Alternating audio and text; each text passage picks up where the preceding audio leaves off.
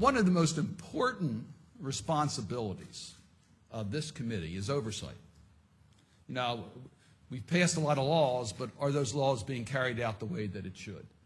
And today's hearing is an oversight hearing on an extremely important subject. And we have a very distinguished uh, uh, uh, witness today, uh, our administrative spokesperson on this. She has a long, distinguished career in promoting human rights and dealing with trafficking.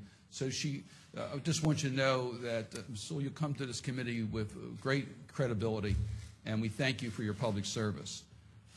Trafficking is modern day slavery. We have a moral imperative to speak out against trafficking. It involves labor servitude. It involves sex trafficking. It involves financing criminal activities. Uh, the ILO estimates that it, it, brings in about $150 billion a year for illegal activities. It affects children who are victims of trafficking. The number of victims, uh, they're robbed of their future. The chairman mentioned in the high 20 millions, we have estimates anywhere from 20 million victims to 36 million victims of trafficking. And they're victims and we owe an obligation to deal with this. I am proud of the leadership in our country. For a long time, working with the U.S. Helsinki Commission, we took the leadership to develop not only laws in America, but to show international leadership. In the OSCE countries, we now have special representatives and we have reports every year on trafficking and we share the best practices. Why? Because of the U.S. leadership, because of what we've done in this country. And quite frankly, we celebrated this year the 15th anniversary of the Tra Trafficking Victims Protection Act. It was an incredible accomplishment by this Congress and the United States and leadership globally on the issue. As a result, we have the Trafficking in Persons Report, which is the gold standard. It's on my desk. I look at it before I meet with any representative of another country so I can go over their trafficking issues and can make it clear that if they want to have the type of relationship with our country, they have to make fighting trafficking a high priority in their country. So we take great pride in the leadership of our country. The 2015 report causes me concern. Causes me concern. And I, I want to get answers today about the 2015 report. There are upgrades in this report that are hard to understand. And I put Malaysia number one on the list. Malaysia has a very serious problem of trafficking in labor. We know about it. We've documented it. And in this report, Malaysia has been upgraded from Tier 3 to Tier 2 watch list.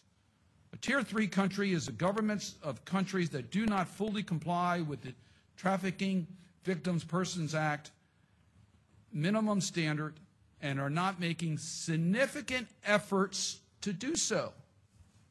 So what's changed between the 2015 report and the 2014 report in Malaysia? Well, there's a couple things that have changed. They've enacted amendments to their law, but they haven't carried them out. The number of prosecutions are ridiculously low on convictions. They have not implemented the new law. Just recently, beyond the window for reviewing this report, mass graves were discovered. And there's one other thing that's new since last year, and that is Congress passed Trade Promotional Authority. And there is a concern whether that had an impact on Malaysia's upgrade. I hope it didn't, but I tell you, and, and we talked about it before the report came out, I just hope that we're using objective standards. There's been reports that have been made that there was high-level discussions that disagreed with the staff-level recommendations. I understand the decisions made at the high level, as it should be. But how much politics went into this? I hope zero, because this is the, the TIP report is the gold standard. I could talk about concerns in Cuba and Uzbekistan and other countries as well. So, Mr. Chairman, this is a very important hearing in which this committee needs to make sure that the work we have done in this country, setting the global example in our commitment against trafficking, remains credible and always improving. And Mr. Chairman, I- I've asked my staff, working with your staff, uh, listen to today's hearings.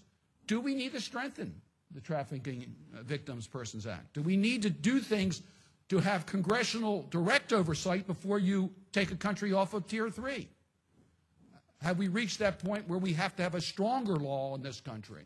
And that's one of the questions that I hope will be addressed today uh, so that this country can continue to lead in fighting the scourge of modern day slavery.